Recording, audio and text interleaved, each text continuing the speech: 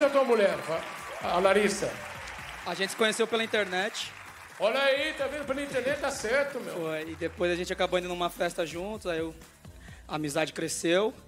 Em 2015 a gente começou a namorar, a gente se conheceu em 2011. Olha isso, super Larissa. Chegou junto na internet, tá Esses vendo? dois aí também podem fazer é, é, comercial de creme dental que vão fazer sucesso. Monta aí creme dental, Lucas. Você nunca entra em cucas. Olha, olha.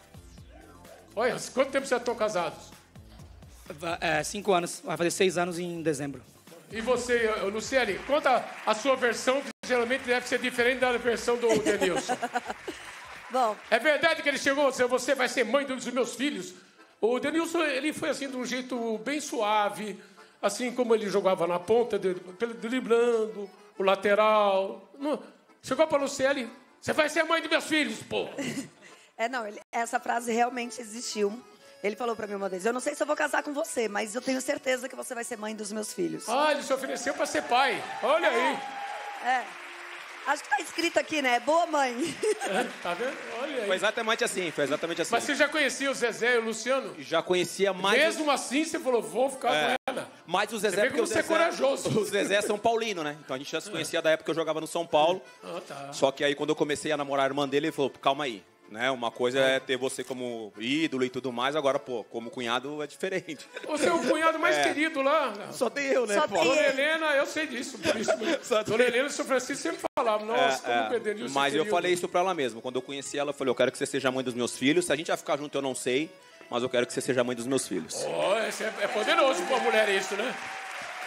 E é lindo, né? Porque é, é muito difícil para o homem ter essa certeza, acredito eu, né? Assim, de, de ter essa certeza profunda que vem do coração. Então, acho que quando você tem esse encontro de almas que vai além do, do encontro dos corpos, acho que é essa sensação de, tipo, achei a minha metade, né? Essa é a mulher com quem eu quero seguir a minha vida. É lindo, Fausto. É tão raro isso, né, gente? O é Denilson, o Denilson me conheceu em Campos do Jordão, num evento de uma revista.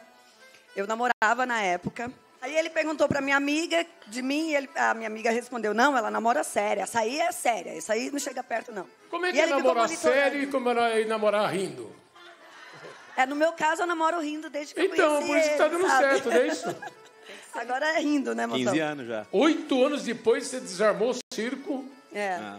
Aí, enfim, aí terminei, aí ele perguntou pra minha amiga. E aí, ela tá solteira agora, porque ele ficava me monitorando pela internet. Monitorando. Os ensaios, né, que eu fazia. Ah, terminou. Não, agora ela não quer saber de ninguém. com uma pessoa, com uma agente. Monitorando. Fui monitorando. Agente, amiga, advogada. Mas, sabe o que é mais legal, Fausto? Que fala assim, ah, essa, não, essa aí é séria. Homem pode ser sério, pode ser safado, pode ser sacano, pode ser o que for. A mulher sempre acha que vai salvar o cara. É, o cara não caso, pede as fichas antes da mulher para ver se ela é séria ou não. O... Olha. É verdade.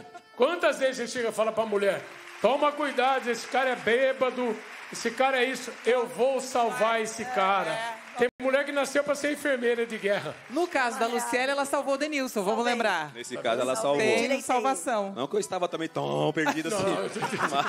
Tava, tava. Né? Mas calma também.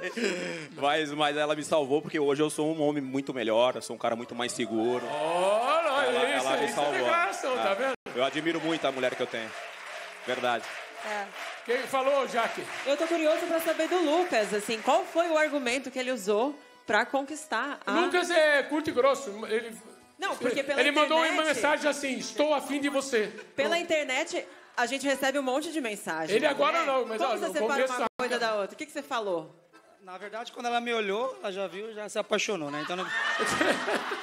Autoestima é tudo, amores. Eles têm uma autoestima, né? É sobre, tá é vendo? mal de jogador, tem uma Não, mas- autoestima.